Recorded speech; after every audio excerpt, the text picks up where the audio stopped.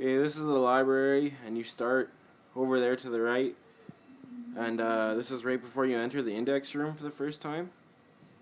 You just have to jump on your buddy's head or grenade jump if you're playing solo, and then that chamber on the right, just run and jump into it. Climb up to the top, and it'll just be right there. That's the black eye. Black eye.